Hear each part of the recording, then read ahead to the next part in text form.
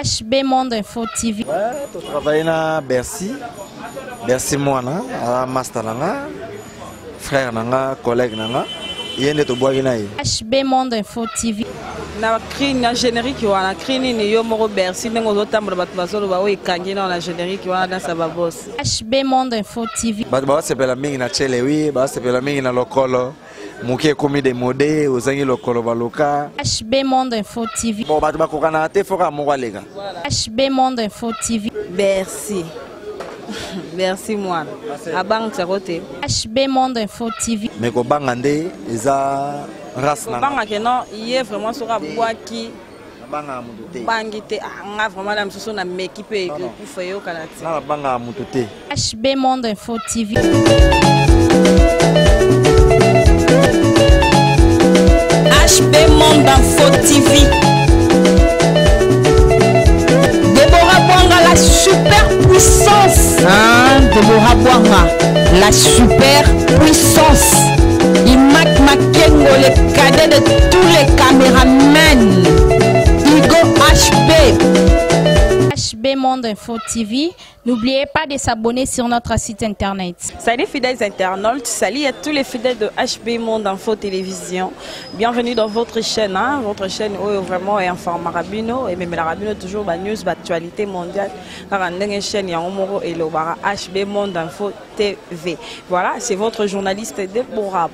bwanga ka ndenge ayambelaka bino baartiste na bino baartiste oyo basepelisaka bino na misala na bango na musike na bango oyo bamemelaka bino babetelaka bino bayembelaka bino vraiment euh, lelo mpe awa debora bwanga ayambeli bino vraiment blaise créateur balobi euh, l'homme de chele oui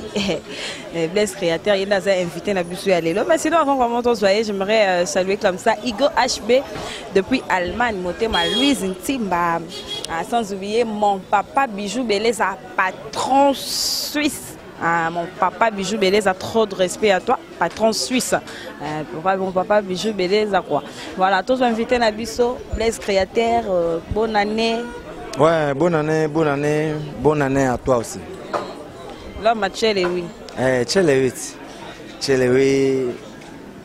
yango wana bato bazelaki yango mwa trop tobimisi yango bon à chaque album ebima à chaque, à, à chaque fois tobimisaka babiloko ya sika bato babengaka ngaka na bakombo ya cri na ngai bo ezalaki facilité elongi facilité ekomi o chelewi bo nandimi kaka chelewi voilà eh, bato nyonso baolanda biso bayoki kaka ke nabengi yo l'homme de chelewi sepelisa biso ata moke na chelewi yango bacomprendre bazwa identité na yango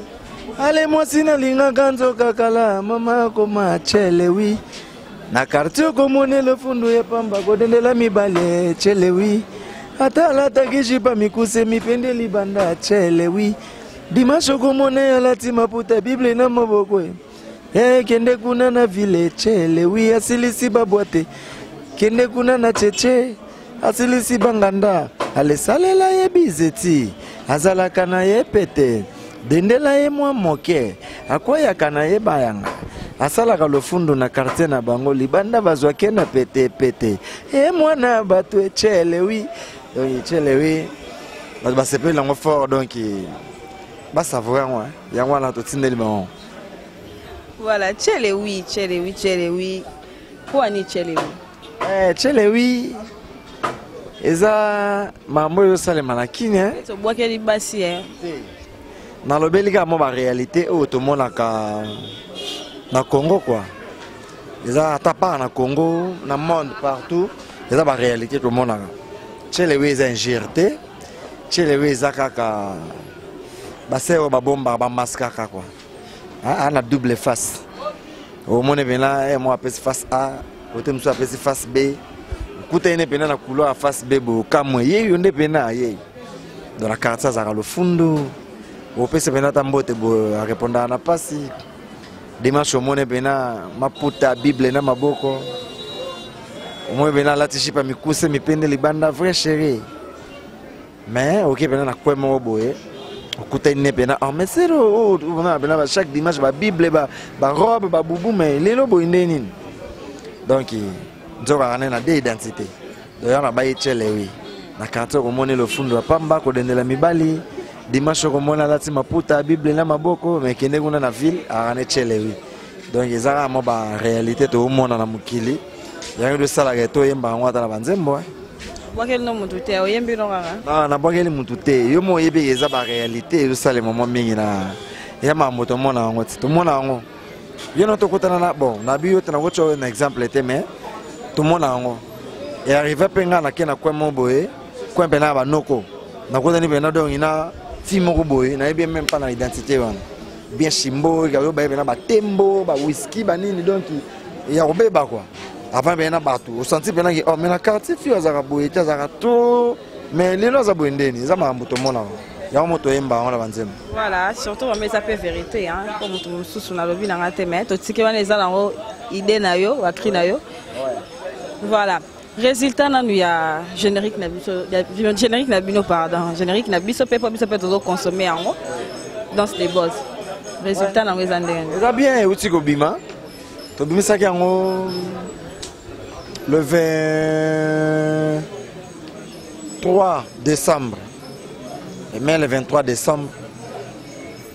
ekende un mois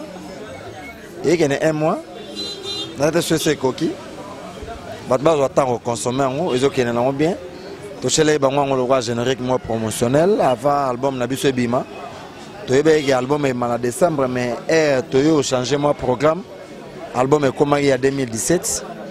donc yango moko tobwaki kotika bafane na biso na mwa nzala kua mwa posa wana bango meme na swafe bayoka biso fallait totiela bango générique wana mpo bameka kokonsome yango ti ava album na biso eya ezalaki générique na biso na manix yango totyela ye bango ezo se comporter très bien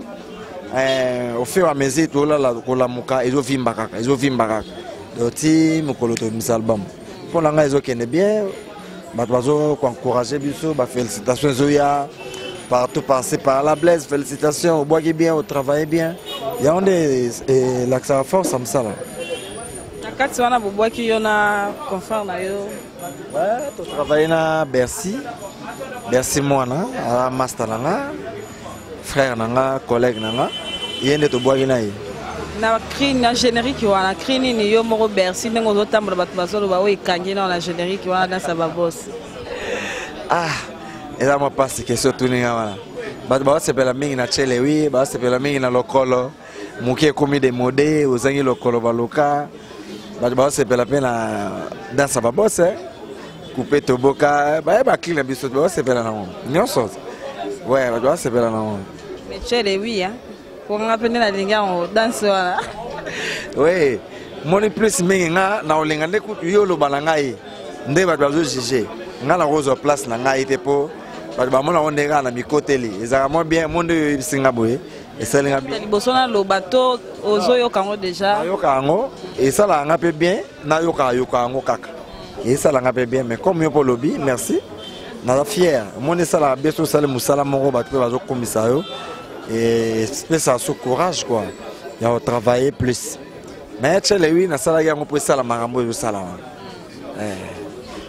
voilà eh, merci na bino tozolanda bozo comprendre vraiment que non eza ambiance ya émission nde tozokende yango bongo j'aimerais saluer d'abord euh, titina boane depuis londres hein? babi titina boane depuis londres l'impresario claude ndombasi blaise créateur ouais. na qu'est ce que j'avais dit makambo na yango esili mpo février kala te awa Saint Valentin et obima to fête yango na Saint Valentin ou a programme nango eza ndenge Non, Saint Valentin to ozala te. Le 11 oyo to ozala na Côte d'Ivoire. To beta, to beta pe le 14 février na Côte d'Ivoire. Après wana to kozonga. So to zongi po to continuer continuité album na biso. Album omi na niveau mix ya mastering mais to na ba générique mibale ya Kafu eza na kati. oyo faut tosilisela bana kin mpo heure album ebima faut tobeta su masolo ya celewi te faut tobeta su masolo ya babloo mosusu touta na bloo mosusu eza na kati kuna na deux générique etikali wana eza ebele ya bien bien omoni soki bozobunda baga soki obimisi gauche faut bomba à droite mpo yango moto aya kokata makambo celewi eza gauche celewi eza lokola gauche celewi eza gauche ba, ba savoura yango mais air album ekebima nde bacomprendre face mosusu totravaille mpena makasi na février bazela biso te wana eza lokuta te na kokosa bato te album na biso ezalaka ya 2017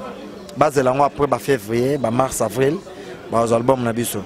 mais toprepare bango biloko ya bie banzembo beaucoup déjà babosana mpo le padre ferregol ayembi patron na biso mpena ayembi banzembo ya danger omoniki album ebimi nano te me bato partout bozoka nzembo ya jugement adolphe muteba tala nsima zonga moto ebimi na mte bapirate biso nzembo meme pas clip na yango oyo bozokana eza non mixe bapirata biso yango mai tala ndenge ezobeta elakisaki mokolo album ekebima eza na baface mosusu eza na kati eza kobatama to mokolo ebima bakomi kocomprendre force ya le padre nika boroni na papa social mais bakanga mpena motema bazela album nabwaki na nakobwaka nakobwaka mpena makasi lisusu lisusu bato fo babina mpena babini mpena balembi ya no créateur ekoki fo babina voilà les créateur créateur bacri oyo obwakaka ana yo moko moto créa yango to ezalaka oyoki cri ya moninga oyebi yango obeti yango to ndeni yo mpe okopianga cri e yo mpe okopesanga cri cri eza bokofa mpe na baninga bolisolo mo mpe ebimi ya esekisi mpe bato yo capitaine yango exploite yango cri normalement namipesaka te namipesa te mpo bato bapesaka nga yango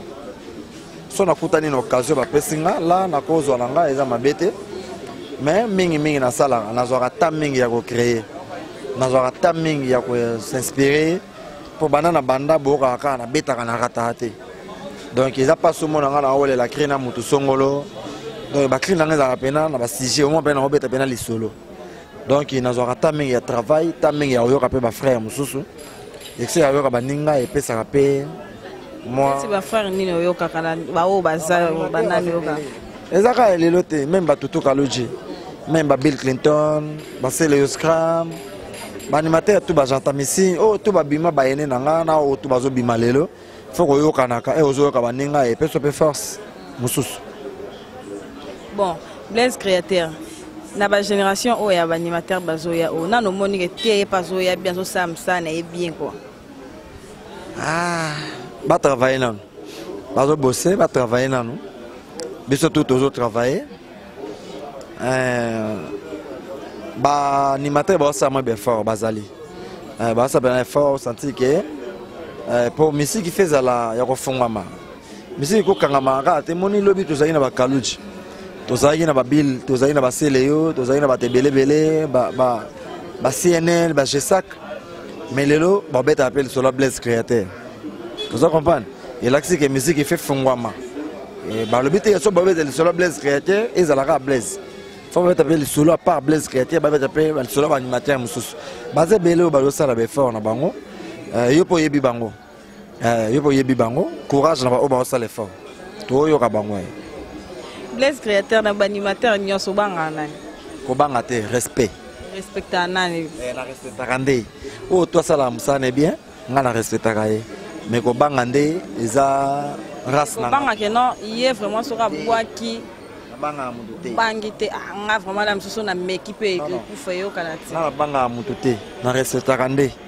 kobanga c'est trop dit eh, na animateur abangisaka nga te nazalaka nde na respect na babosser nyonso respect na baene na nga respect na bato to babima liboso na nga respect na baanimateur oyo to batravaka bien ke kobanga ezalaka mwa mpasi bazali mo ebele oke lokola babrigade sarbati nga na préféraka ye atravaka très bien a ah, parmi baanimateur na nga préféré kaloge azala idole na nga aza idole na nga ti lelo nabwaka mpo na ye nayoka ye trop euh, baanimateur baza mwa ebele oyo nasepelaka na bango bercy bercy mwana abangisa ko te nga abangaka te nga nabangaka moto te mpo nga moko nanu diable eh, nga moko nanu komona ko boye te tokofanda bo tovandi tozosoloma e eh, ekoma ere eh, alata casque ere eh, mosala wana na changaka sikoyo nakoma bena na changaka parce que même na résultat ya générique oyo bato baza étonne bato bakamwe osololi vraiment mpo bato bando obanga babi ah est ce que blaise créateur akokoka nabeta 4 minutes bato ebele bazala te omoni mambo esalati nabeta 4 minutes le padre ayebisanga mwana na nga kende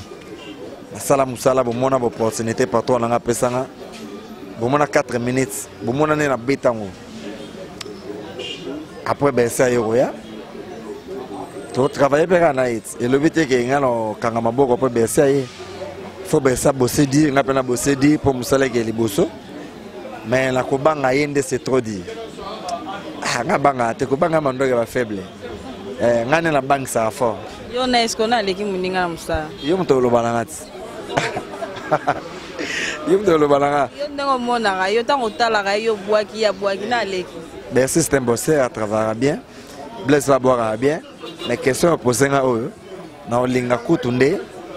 moko mosusu osala te émission moko ozwi micro balader eh, bani bino otuna mpenza kaka bato bafanatike bamelomane baquestion oyo bato nde kutu fo barépondre na place na biso dokomona moteki azoteka na wenza bi bosomba ndunda na ngai te eza ya kopola bosomba makayabu na ngai te eza ya mabe ata eza ya mabe obengaka baclient boya boya do elakisi ke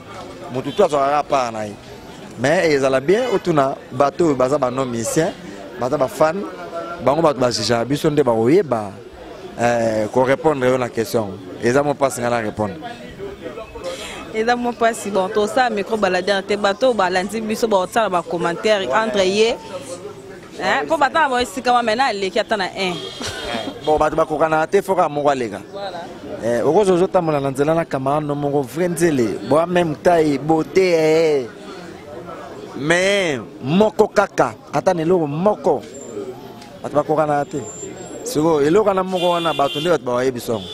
omoni bercy aleki blaise na eloko moko boye Eh, omoni Blaise fort na ye mpe eza eloko moko boye. Donc sikoyo bato nde soki fo baloba biso toloba te. Mais biso mamwana mene ezalaka te. Bon, carrière musicale na yo soki obi odedie yango opesa merci opesa merci na nani? Na mama abotanga mwa mboyi nga lola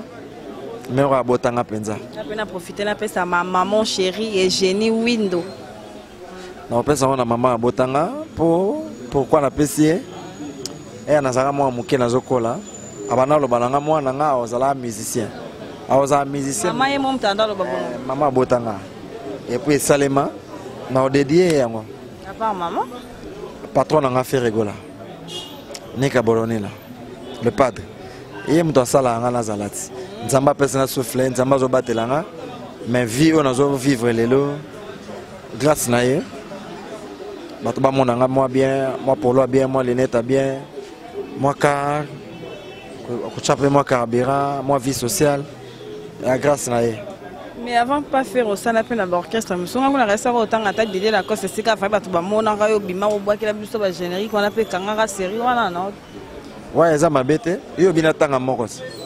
So bina tanga moko na otanga ferre ko. Banda na mama stoke na ferre. Ah. Mhm. So permettre nga na lobe belé. Na permettre vraiment pour na ça pour ça batu musu ba kota. Non, de dire on a ex patron na Redia Miss. Oyo a forma nga pena na kata musique. Oyo premier album na nga munene na vina boaka compteur à zéro na ziza. Na prendre belé pembe na ye. ye mpe aza parmi vie na ngai mpe didier lacoste aza parmi parmi bato oyo mpe babimisa ngai mpe na miso ya bato bo nasala mpe bamosala bato bayoka yango mpe pembeni na ye ye mpe aza na kati voilà relation nini botikala nango entre yo na didier lacoste ouais relation eza kaka ya nayebi ka aza ex patron na nga na travaille mpa na ye nga mpe naza ex animateur na ye mosala ka moto ekabola biso mais nazalaka na ngai na problème na ye te sans rancune euh, sans rancune malgré tomonanaka mingi te tokutana une fois na rtvs 1 émission libanda ye azo parke nga mpe na baparke awa gare pembeni nga mpe na gare pembeni na ye napesaki ye bonjour azwaki mpe mbote après tokabwani na biso oyebi koza mwa malamu Banimateur mosusu na pose question au niveau oboya obenge peut-être te aza camarade na nga mais orépondre vraiment très sagement oyebi esali nga bien esali mpe bato bien bato baolanda yo omoni koboyana eza nango echangeaka te ebakisaka mpe loo te tout le monde est libre nakoboyana ngai mpe soki oza koengage ka ngai mpo akanga nga aza te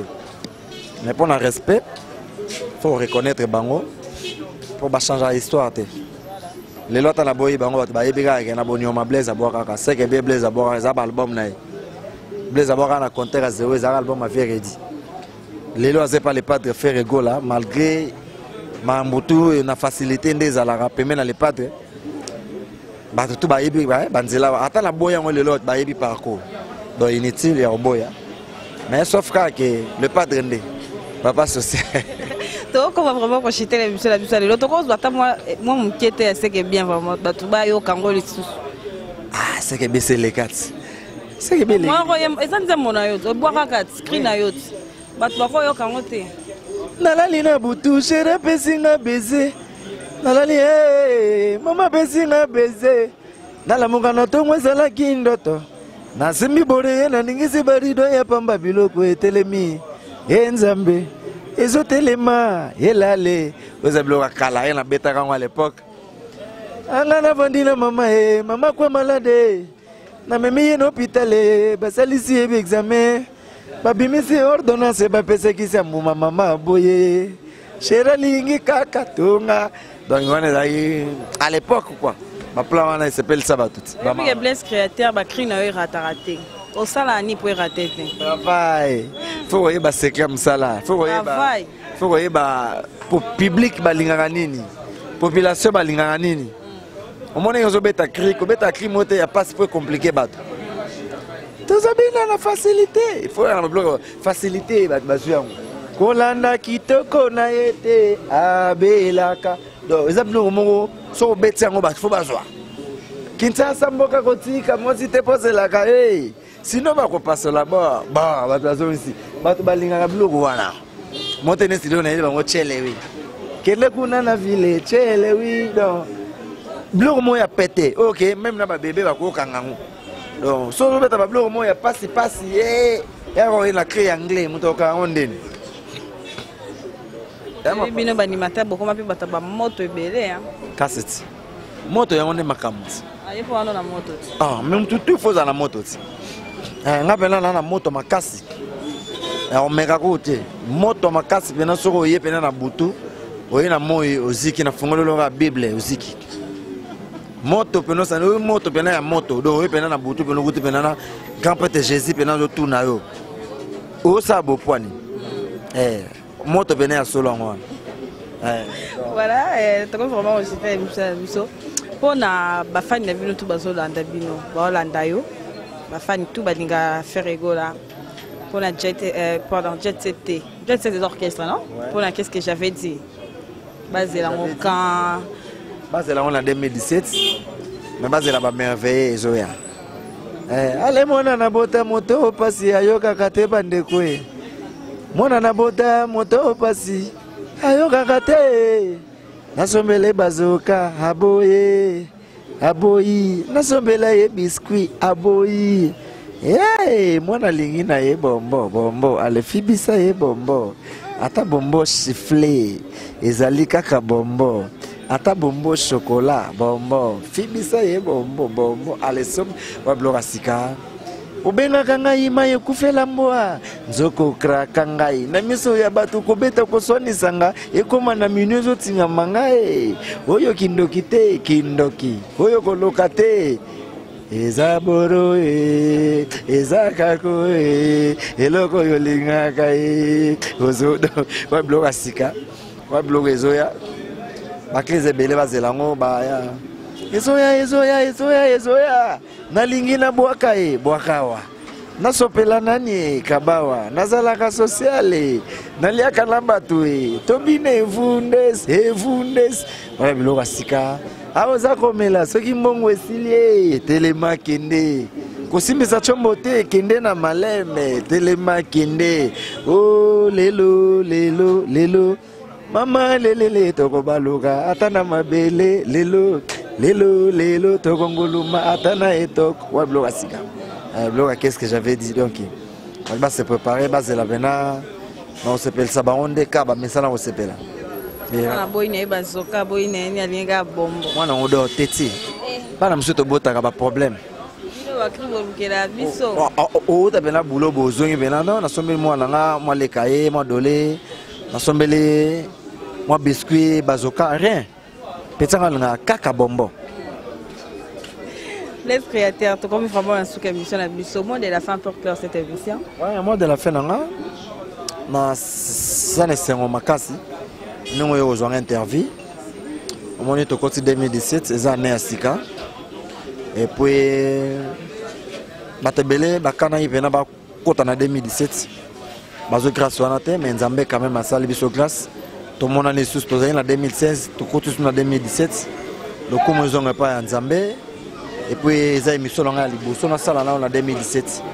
en tout cas nasepeli na déplacement na yo nazalaka na respect plus mingi na presse mpo à tout moment bobengaka nga nazalaka wana mpo nayebi ke boza parmi bato bosala ya biso promotion sans bino mpe biso toza te donc il faut kozala bien na bino hmm, mingi mbote na bato balingaka nga bato tu basepelaka na mosala na nga nao mpe balingaka nga te bayekola kolinga nga mpo nga nalingaka kaka bango mbote mingi na herve makaloji 112 na states mon ami mbote mingi encore une fois na na vie na ngai guillaume vangi na allemagne mbote mingi na gerence bondo mbote mingi lisusu na manu matondo mbote mingi lisusu na vie na ngai vovo kaloji patrick demuch mbote mingi place oza mbote na ngai susu na lole omba na états-unis mbote mingi na fania star mokonzi ya basoirée na londres ya lidia motoko mbote mingi na chancel mbemba l'international mbote mingi na linda 206 fibre optique sere na ngai na paris mbote mingi na de gaulle mata na londres grand prêtre na londres mikolo so bomoi mpena na change ka so bomoi mpena ke benze emonana su te leo mwasi ke ekoti grâce avele ngai de gaulle mata na londres Leonardo Miss Ekolo Nkoma Mokonza Plateau de Kenza Motema ya Mama Adrien Grand Peutre Me Café Noir Café Noir Mbote à trop place ozali Leonardo Miss Ekolo Nkoma Mokonza Plateau de Kenza Mbote na yo Mbote mingi lisusu na vie nango dilo mampuya Mbote à trop Masa na ngai Elulu Basu Garçon capable 24 heures chrono Mokongo Nkoba akoya jamais Café ne tombera jamais donc eyokani masa na nga levi mpai place ozali baza ebele ebele par quel carolage eniata aniata atala te mwana nzoko aza nzoko mbote mingi na franki mamba mokonzi ya basheri mbote mingi lisusu na eh, ferran vuvu kivuvukele Eh, bato tu balingaka nga ntuka mbote mingi nalingi bino mingi kembo kembo ekembo lelelelele eh, gilis masala nga molobeli mopanzi nsango ya solo mwana kitambo mbota to place oza Merci la ville tout bozaki branché bolandaki biso vraiment un grand merci la ville tout bozaki branché na HB Monde Info TV et bino tout na bosabonner c'est vous s'abonner chaîne ya bino yango yo talaka be monsieur Boedon n'est pas ailleurs qu'à la rate HB Monde Info TV. Hein. Merci na bino tous bozaki branché. Un grand merci comme ça Ima qui makengo na sima caméra na niveau ya technique. Un grand merci à Nathalie Lifoka Wonderful. Hein. Euh, Nadine Window l'original. Un grand merci à Hervé Bwanga. Merci na bino tous bolinganga, bolinga HB Monde Info TV. Tokutani bongo na numéro ya sika. Check.